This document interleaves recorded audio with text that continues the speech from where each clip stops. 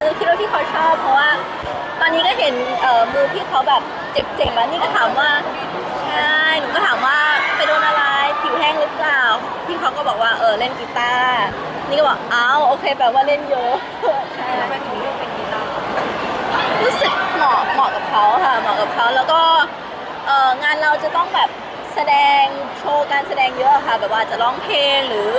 เล่นเปียโนเล่นกีตาร์อะไรอย่างเงี้ยหนูรู้สึกเป็นสกิลที่เพิ่มเพิ่มเสน่ห์ได้มากๆค่ะ แล้วก็เห็นว่าเขาว่ามีความแต่แรกเหมือนส่งเสียงเออจริงๆหนูว่าพี่เขาพี่เขาอึ้งค่ะอึ้งเลยแหละที่เขาไม่คิดว่าจริงๆพี่เขาไม่คิดว่าวันนั้นจะไปหา แล้วก็วันนั้นจะเอามาให้ด้วยค่ะแล้วก็เขาชอบคิดคิดว่าชอบนะคะ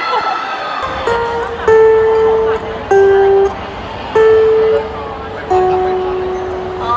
อยู่แล้วอยู่แล้วค่ะหนูก็อวยพรหนูก็ก็ ขอให้มีความสุขในทุกๆวันมีรอยยิ้มเยอะๆรู้สึกว่าปีนี้ก็เติบโตขึ้นเยอะมากๆน้องก็จะอยู่ตรงนี้ค่ะอยู่คอยสปอร์ตเสมอค่ะ